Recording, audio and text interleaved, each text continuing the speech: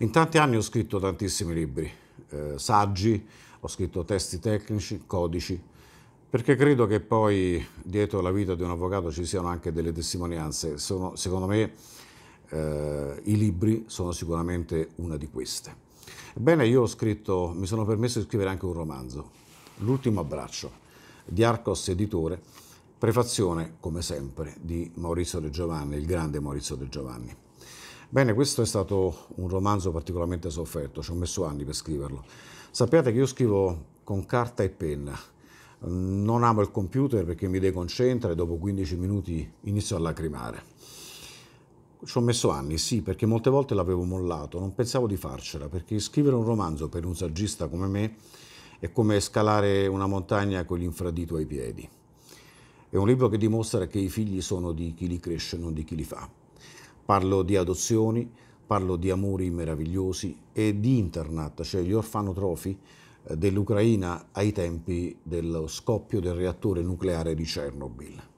La storia di Dmitry Wozniak, un polacco trapiantato in Ucraina, e cinque orfani che ce la faranno. Perché nella vita non bisogna mai dire che è finita fino a quando non finisce la vita.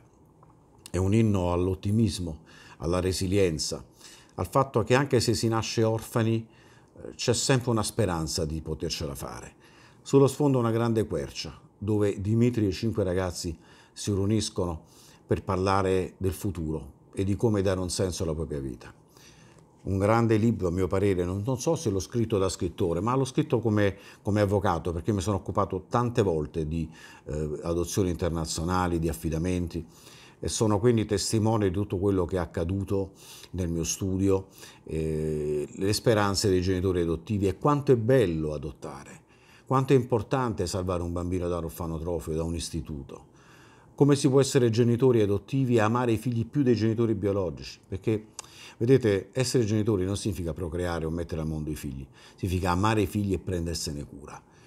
Questo è un libro che potete trovare dal vostro, dal vostro libraio, ordinarlo lì o su Amazon e in poche ore vi arriverà. Eh, un libro drammatico, bello, pieno di speranza ed è un libro che parla di un'umanità che spesso noi non conosciamo. Alla prossima.